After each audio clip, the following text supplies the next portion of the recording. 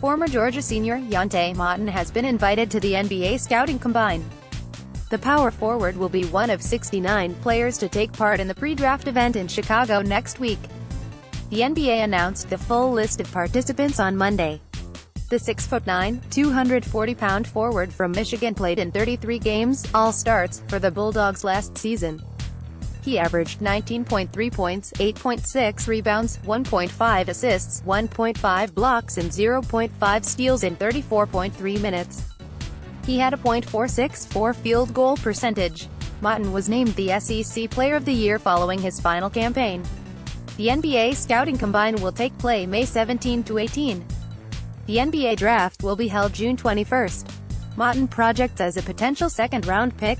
Related, SEC Country 2018 NBA Mock Draft This story originally appeared on AJC.com.